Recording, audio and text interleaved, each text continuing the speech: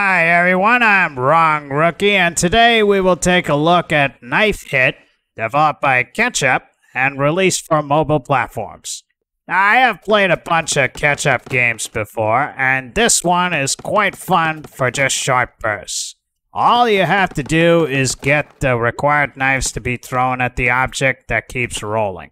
The catch is that you shouldn't hit a knife that is already there, otherwise the game ends. You do get the option to try again, but this requires you to watch an ad even if you paid for the option to remove ads. You will face bosses like cheese, tomatoes, and other objects instead of the log. If you defeat them, you get a certain XP, which, if fully reached, gives you more bonuses.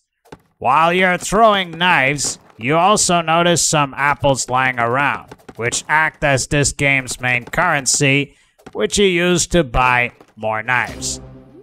There are additional challenges that you can play, and that reward you with more XP, and that is pretty much all there is to it.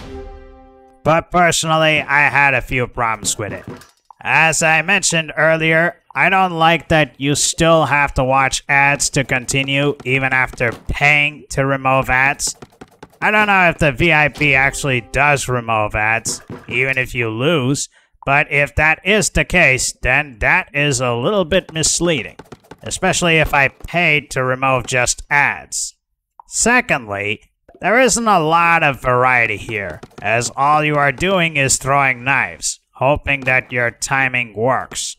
Sure, there is a challenge when you throw them, because it affects the knives that you have to throw next. But if you're skilled enough, you can easily breeze through them, which can start getting dull.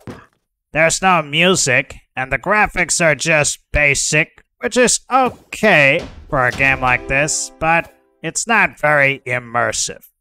But other than that, this is a good mobile game that you can play in short bursts. Well, that is it with this one. Let me know what you think in the comments down below. And in the meantime, thank you for watching Gaming Wrokiey. Have a good one.